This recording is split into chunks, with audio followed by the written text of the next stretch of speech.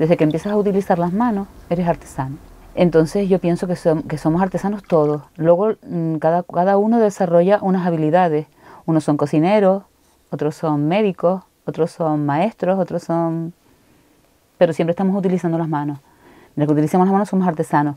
Empecé con la artesanía de materiales reciclados, eh, hacía duendes de papel, y ahí empecé ya con la artesanía, pues en serio, metiéndome en, la artesanía del cabildo, con manipulador de material reciclado, que es otro carnet que tengo de, también de cabildo, de artesana. Y luego pues el barro ya lo había tocado desde que tenía 20 años y siempre era como una asignatura pendiente. Entonces ya luego pues me metí más de lleno. Estoy desarrollando por el momento la creatividad con el barro haciendo lo que yo quiero crear y el día que el barro no me dé el recurso que necesito, pues me pasaré otra cosa. Pero creo que no. Creo que el barro es la materia, es la tierra, es nuestra madre, es la materia que te da todos los recursos necesarios para tu subsistencia. Estos son los materiales que se utilizan en la alfarería. La alfarería se utiliza pues suelo mineral, que sería este es el barro, esto es un barro fuerte que lo utilizamos en la alfarería. Este barro hay que ponerlo de remojo y luego colarlo con colador para eh, quitarle las, impurezas.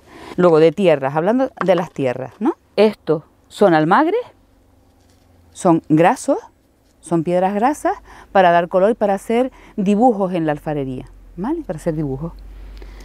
Después tenemos el rojo y tenemos el blanco. Aquí tenemos otro color, otro tono de rojo más graso, también que da este color así, la diferencia de color que hay entre uno y otro. Después aquí hay carbón.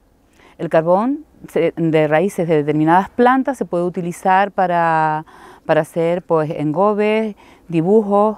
Al final la arena de picón, esto es arena de picón, esto también hay que cernirlo y dejarlo así de finito. Y el barro este, el que machacas hay que dejarlo también así de fino. Esto, luego la pasta que haces entre lo que tienes de remojo y, y el barro flojo, se mezcla todo con el picón para que aguante el calor. Aquí estoy preparando los guatimac, que es el único ídolo que se ha encontrado en la isla de Tenerife. Se fue encontrado en el barranco de Erque, famoso barranco de las mil momias. Los extranjeros les gusta muchísimo llevarse esta pieza. Además, es un ídolo de protección, que siempre estamos buscando ídolos de protección en otras culturas y resulta que nosotros tenemos al guatimá, tenemos este pequeño, esta pequeña joya de, de la arqueología canaria, la tenemos aquí, en Canarias, ¿vale? Y es nuestra. Aquí le estoy haciendo, ya está, ya ha pasado por el horno, le estoy haciendo el proceso de, envejecido, envejecer un poco la pieza para que le dé un toque pues más original. Para que una pieza de esta esté finalizada, puedes hacer a lo mejor 20 o 30, no vas a hacer una, pero por cada pieza, si vamos a hacer un cómputo de horas, te puedes pegar 8 horas tranquilamente si vas a, a contar todo, todo el proceso. La forma de, en Canarias de hacer alfarería es una de las formas más primitivas que existen en el planeta. Entonces es importante conservar nuestra alfarería por ese motivo. Entonces, mm, hoy en día la gente demanda cosas nuevas, cosas novedosas. Entonces tienes que evolucionar, pero se puede evolucionar en la forma, pero no en la forma de preparar todo el proceso del barro, de la alfarería canaria, todo el proceso del barro. Yo a la gente joven le diría que, simplemente por curiosidad, ¿no? Para mantener algo vivo de nuestra, de nuestra cultura, como es la alfarería tradicional canaria, que se acerquen a los talleres cuando hay talleres de alfarería, que prueben a tocar el barro, que prueben a crear cosas, a crear cosas diferentes, hacer algo diferente, que no sea apretar las teclas de un ordenador, por un momento es gratificante, relajante, antiestrés y de todo. Y puedes crear algo diferente, algo que lo creas desde tu interior. Solamente te están dando la tierra para que tú crees. Eso se puede hacer con la tierra. La alfarería tradicional canaria siempre se enfocaba sobre, sobre la mujer. Era la mujer la que la elaboraba. Hoy en día y ahí las cosas han ido cambiando y hay muchos hombres eh, trabajando la alfarería tradicional canaria que trabajan muy, muy bien. Por ejemplo, esta pieza no es una pieza fácil, no es una pieza que tú termines en cinco minutos, ¿sabes? Entonces, yo quisiera que alguien viniera aquí, se pusiera y viera todo el tiempo que esto lleva y después me dijera cuánto quiere cobrar por ella. Porque cuando tú le pides a una persona 20 eh, euros por esta pieza le parece cara. Porque la artesanía, cuando tú lo haces es porque tienes amor a lo que estás haciendo y te gusta.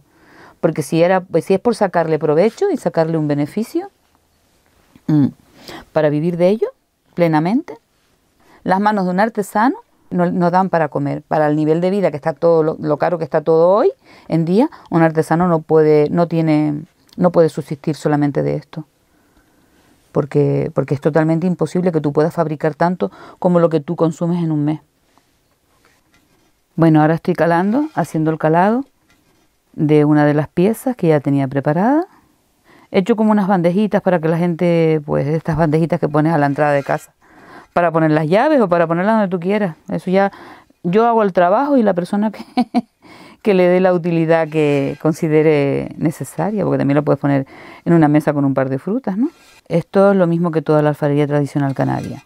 Eh, cuando hago la pieza, preparo la cantidad de agujeros que necesito según el calado que quiera hacer y la forma en que lo quiera hacer. Y después ya cuando está horneada y todo finalizado, el proceso de lo que sería la alfarería tradicional, pues ya lo que queda es esto, hacer el calado y para terminar la pieza. Aquí vamos a hacer un calado en espiral, que lo llaman, las señoras mayores lo llaman el caracolillo. Aquí estamos finalizando el trabajo de esta pieza, que lleva todo un proceso desde que sacas la tierra, del, el barro de la tierra, preparas el barro para poderlo trabajar, elaboras la pieza, la horneas y ahora ya pues estamos haciendo el calado. En esta pieza estamos ayudando a preservar lo que es la alfarería tradicional canaria y aparte de eso el calado. Dos formas tradicionales de artesanía canaria que están en peligro de extinción. Además, las piezas hechas con las manos de un artesano tienen vida porque están hechas con, con amor, están hechas con cariño, están hechas con ilusión. Hay que valorar eso, de que, de que esta pieza está hecha con cariño, con amor, con mucho, mucho trabajo. No te llevas algo frío, hecho con una máquina. Está hecho por las manos de un ser humano, ¿no?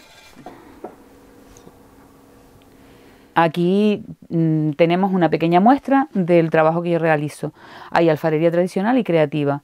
Por aquí tenemos mm, de las cosas creativas, aquí tenemos algo tradicional, aborigen de Gran Canaria, eh, algunas piezas del RIF, del norte de África, eh, piezas de creación y también tenemos las más destacadas y las más importantes de mi taller, que son las piezas de alfarería tradicional calada. Es decir, he mm, fusionado dos artesanías en peligro de extinción, que es el calado y la alfarería tradicional. Y también tenemos al guatima, que es la, el ídolo nuestro ya terminado, el que vimos, el que vimos ya, que pudimos ver, verlo terminado.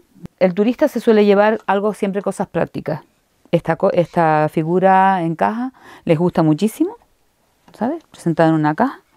Este es el tipo de pieza que se suele llevar un turista, porque lo puede llevar muy cómodo para llevarlo en la maleta. Esta es una pieza de, de la isla de La Palma y bueno, presentada así en, en caja para podérsela llevar sin peligro de que se te rompa.